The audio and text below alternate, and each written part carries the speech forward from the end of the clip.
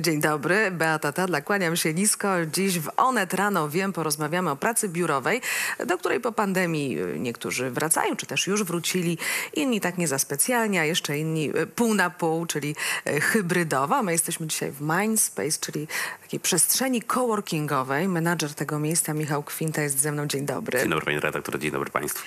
Proszę nam powiedzieć, co to jest przestrzeń coworkingowa? Dla kogo? Przestrzeń coworkingowa jest dla każdego. Od freelancera poprzez e, małe, średnie przedsiębiorstwa, poprzez e, duże firmy czy korporacje. Jest to miejsce, w którym e, nasi członkowie, bo takich nazywamy, staramy się unikać określenia klienci czy najemcy. Czyli ci, co przychodzą tutaj sobie popracować, to są członkowie? To są nasi członkowie, tak.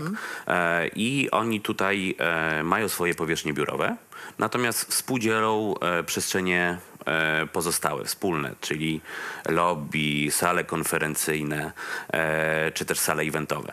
E, czy przestrzeń coworkingowa to nie jest zwykły biurowiec?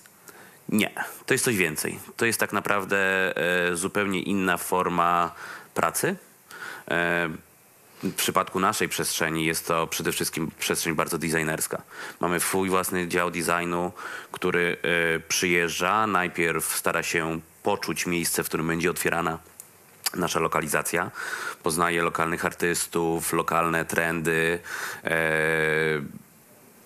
wszelkiego rodzaju e, miejsca, które mogą wpłynąć na to, żeby ta przestrzeń oddawała też troszeczkę ducha, e, ducha miasta, w którym e, będzie otwierana i tak, w przypadku, tak jest też w przypadku naszego Mindspace Koszyki mm -hmm. tutaj w Warszawie. Ja pamiętam jeszcze kiedyś, dawno, dawno temu, moi znajomi, którzy chcieli sobie popracować, mm -hmm. bo na przykład nie potrafili skupić się w domu, a pracowali na własny rachunek, to sobie szli do kawiarni albo restauracji, otwierali laptop i, i, i pracowali właśnie tam. Jak rozumiem, teraz takie przestrzenie coworkingowe zastępują nam trochę kawiarnie, e, ale też co? Można wynająć je na godziny, na dni, jakiś abonament kupić? Zdecydowanie. Jak gdyby ten kawiarniany, e, kawiarniany klimat pozostał, ponieważ e, wiemy, jak ważna jest kawa dla każdego.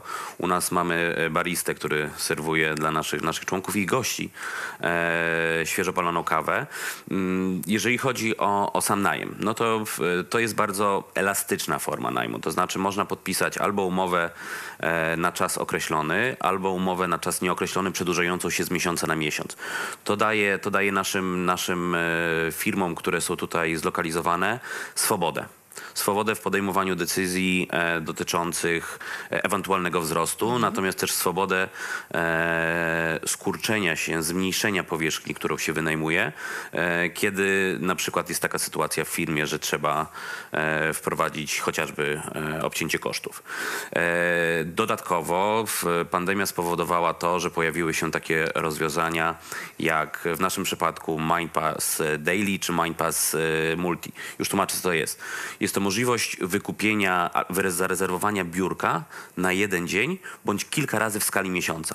Czyli pracownicy, którzy już są znużeni pracą w domu, bądź też nie mają do tego warunków, e, mogą e, zarezerwować sobie u nas biurko, przyjść i tak jak pozostali nasi członkowie, korzystać z tego, co daje Mindspace. Mhm. Nie jest to oczywiście e, tak rozbudowane jak same członkostwo, natomiast daje możliwość przede wszystkim odpoczynku od tego, co zajmuje ludzi, kiedy pracuje się w domu. Czy są to dzieci, czy na przykład, e, nie wiem, e, od wielu naszych członków słyszałem, że rozpoczynali pracę tylko o pełnej godzinie, czyli na przykład było 15 po, to woleli poczekać do pełnej godziny 45 minut, zająć się czymś innym i dopiero wtedy rozpocząć pracę, albo ciągle było coś do posprzątania. Ja myślę, że, że w ogóle COVID, pandemia przedefiniowały pojęcie tak. biura, czy też pracy biurowej.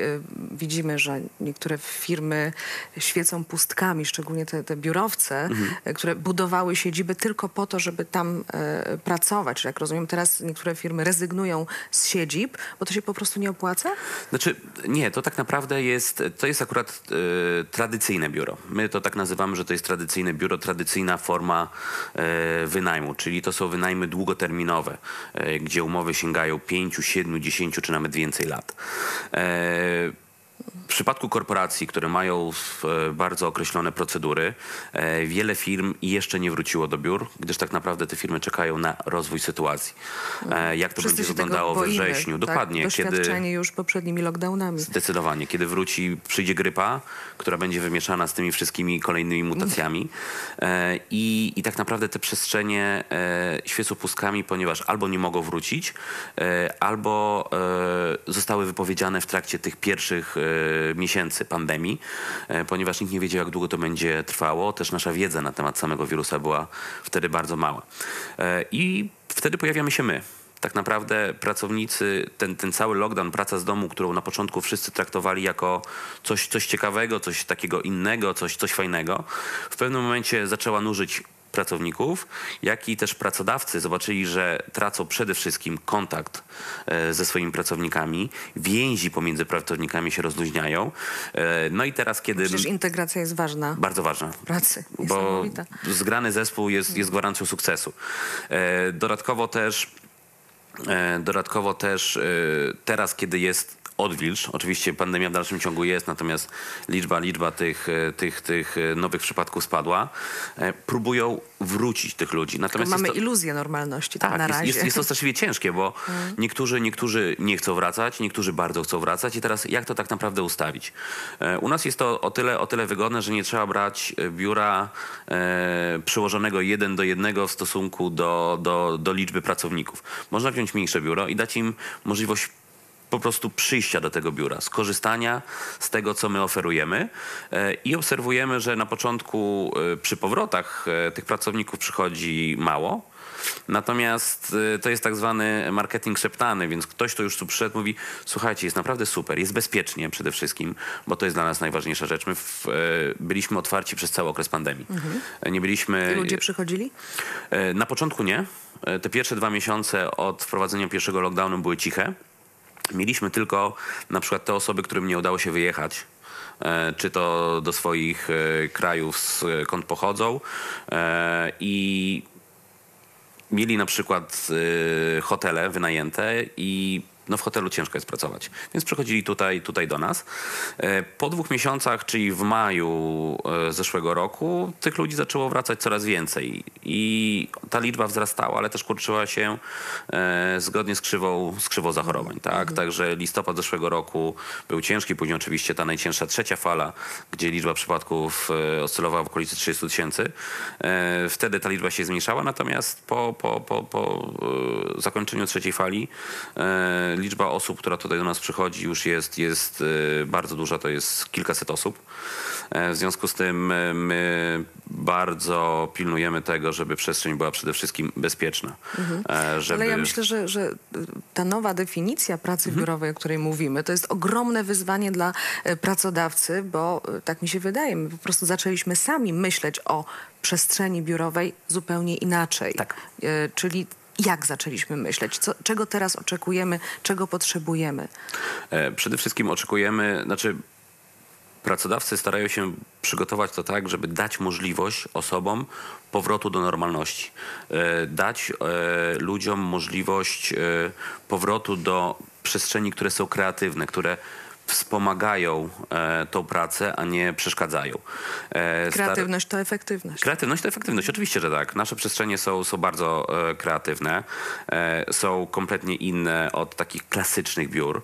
E, jest jest bardzo dużo takich miejsc, w których można sobie na spokojnie usiąść i pomimo tego, że, że, że jest to przestrzeń współdzielona z innymi firmami, e, jest możliwość e, takiej właśnie kreatywnej, kreatywnej pracy. Co więcej, e, przestrzenie, przestrzenie elastyczne, czyli przestrzenie coworkingowe dają możliwość nawiązywania kontaktów biznesowych z innymi firmami, wymianę doświadczeń.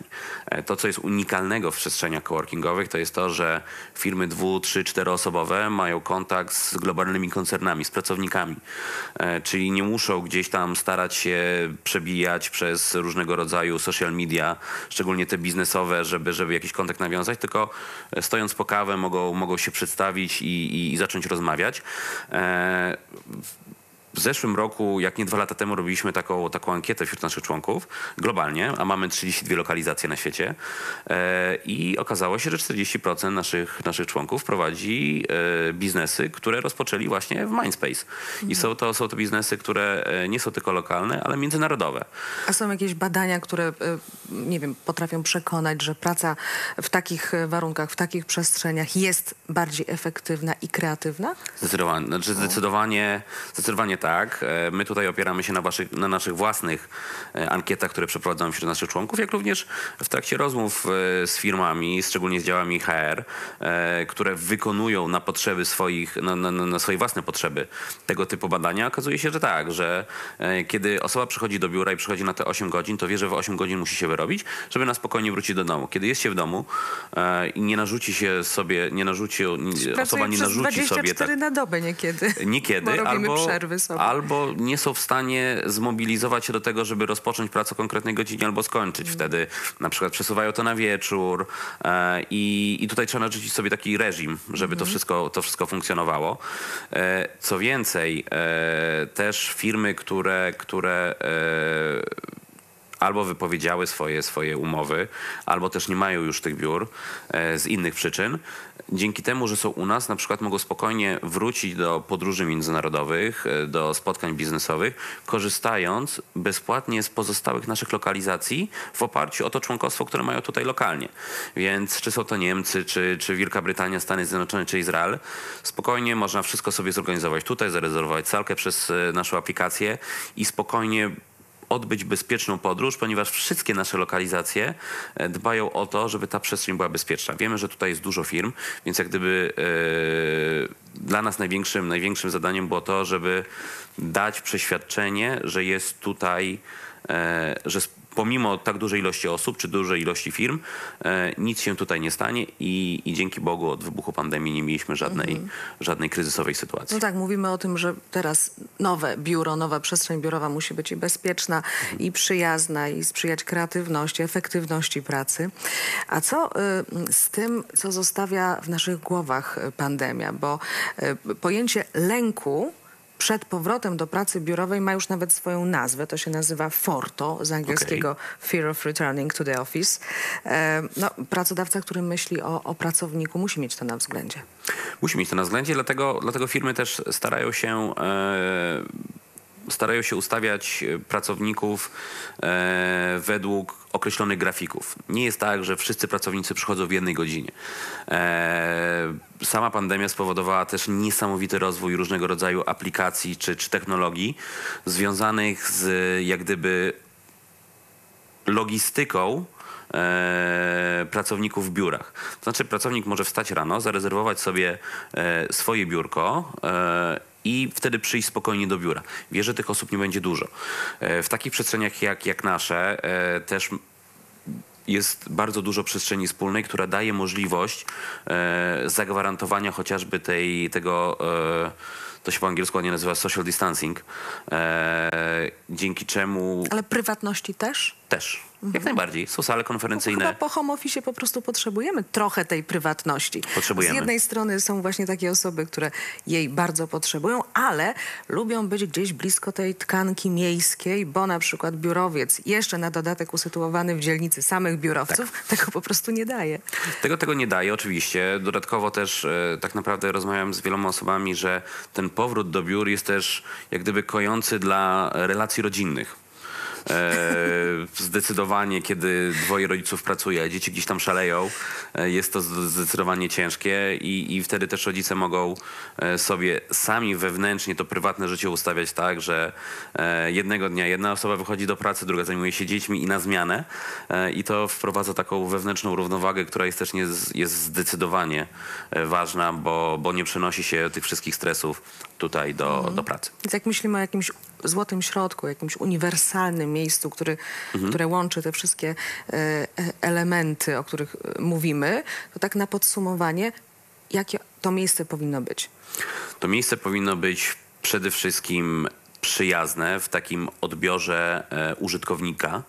E, musi być miejscem kreatywnym, musi być miejscem bezpiecznym, musi być miejscem, w którym można e, poznawać nowych ludzi, w którym można wymieniać doświadczenia, które daje tak naprawdę wszystko to, co jest potrzebne do pracy.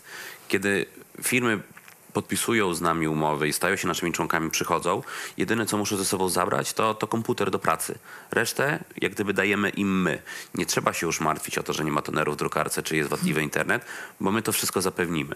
No i przede wszystkim w obecnych czasach bezpieczeństwo. Bezpieczeństwo i to poczucie, że, że przyjście do biura nie będzie się wiązało z ryzykiem dla tej osoby zachorowania, czy też nie daj Boże przeniesienia później tego na, na członków rodziny. Myślę, że mądry pracodawca wie, co w nas zmieniła pandemia i mądry pracodawca Zdecydowanie tak. ma to wszystko na uwadze. Serdecznie dziękuję. Michał Kwinta, menadżer Mindspace Koszyki, co po angielsku nazywa się Senior Community manager. Community Manager. Duż, dużo dzisiaj było takich Tak. z angielskiego, ale przed programem rozmawialiśmy sobie, że, że no niestety nie, nie zawsze da się Tak, coś niekiedy, niekiedy się nie da, natomiast ja, ja zdecydowanie wolę tą angielską formę niż polską, czyli starszy menadżer do spraw społeczności.